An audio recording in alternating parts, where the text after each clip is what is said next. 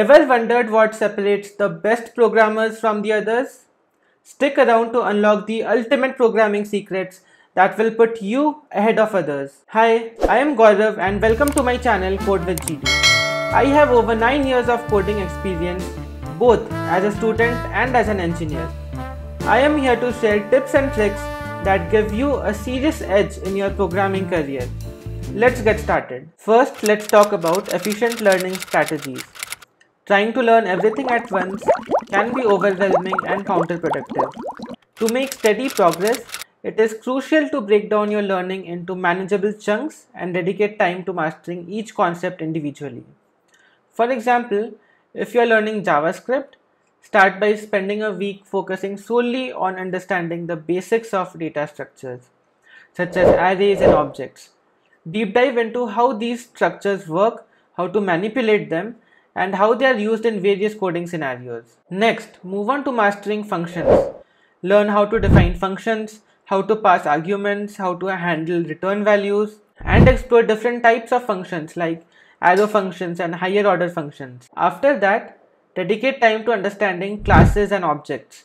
Get comfortable with the principles of object oriented programming. Learn how to create classes, how to instantiate objects, and how to use inheritance and polymorphism in JavaScript. Only after you have a solid grasp of these fundamental concepts, you should consider moving on to more advanced topics like implementing APIs and services. By focusing on one concept at a time, you will build a strong foundation, making it easier to understand and implement more complex features as you progress. Tip number two use active learning techniques. Instead of just reading about algorithms and watching tutorials, immerse yourself in coding every day. Engage actively by practicing coding, building small projects, and getting your hands dirty with real code. This hands on experience is the most effective way to learn and retain programming concepts. One of the best ways to implement active learning is to create utility software for yourself. This method not only helps you learn coding, but also allows you to build something practical that you can use in your daily life. Start with simple projects. For instance, you can create a highly customized expenditure tracker to manage your personal finances, or a reminder application to keep yourself organized. By focusing on these small but meaningful projects, you will gain valuable experience in problem solving, debugging, and applying programming concepts in real world scenarios. Plus, the satisfaction of using a tool that you have built yourself will keep you motivated and engaged in your learning journey. Tip number three embrace failure and learn from your mistakes. Every error or setback is a valuable learning opportunity. As a software developer, you will inevitably encounter bugs and issues that challenge your understanding and problem solving skills. Instead of getting frustrated, view these challenges as chances to improve. When you struggle with a bug for hours, Take the time to write a postmortem on the experience. Document what went wrong, how you eventually fixed it, and what you learned from the process. This reflection helps solidify your understanding and prevents similar issues in the future. For example, if you encountered a tricky null pointer exception in Java, note down the steps that led to the bug, the debugging process that you followed, and the final solution Identify patterns or common pitfalls that caused the error and outline preventive measures to avoid them in the future. This could include better input validation, improved error handling, or writing more comprehensive unit tests. By systematically analyzing and learning from your mistakes, you will build resilience and a deeper understanding of the intricacies of software development. This mindset will not only make you a better developer but also help you tackle future challenges with confidence and efficiency. Next is writing clean code. Writing clean code is crucial for any programmer. Clean code is not just about making your code look good, it's about making your code more readable, maintainable, and understandable both for yourself and for others who might work on the same project in future. So tip number 4 is use meaningful names. Choose variable, function and class names that clearly describe the purpose. Avoid using cryptic or abbreviated names that can confuse the readers. Tip number 5 is keep your functions small. Each function should perform a single task. If a function is getting too long or complex, break it down into smaller and more manageable functions. Tip number 6 is write comments sparingly. It means write less comments. While comments can be helpful, over commenting can clutter your code. Aim to write self explanatory code that reduces the need for comments. Use comments to explain the why behind the complex logic, not what the part of code is doing. Tip number 7 is use consistent formatting. Follow a consistent coding style and formatting throughout your code base. You can use indentation, spacing, and line breaks to enhance the readability. Code editors like VS Code also have extensions like Prettier that automatically format your code after you save it. Tip number 8 is avoid code duplication. Reuse code wherever possible. If you find yourself copying and pasting code, consider creating a function that can be used by different parts of the code.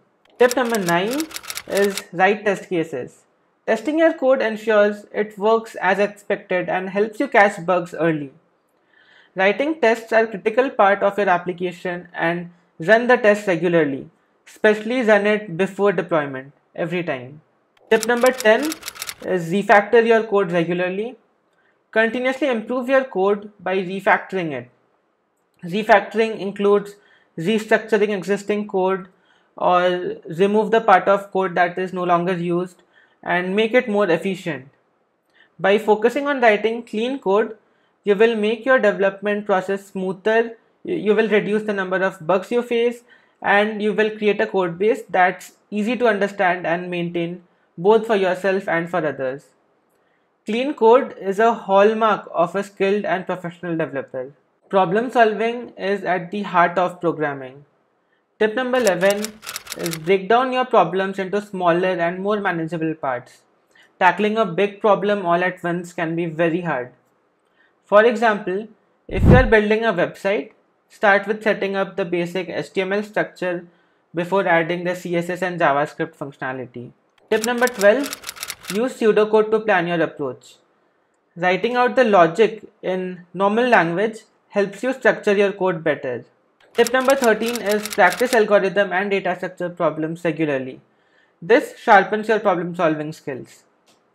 For example, use platforms like LeetCode or HackerRank to solve algorithm challenges. Tip number 14 is follow industry blogs and news. Stay informed about the latest developments. For example, you can subscribe to newsletters like JavaScript Weekly or Python Weekly to stay updated with what's new in the language.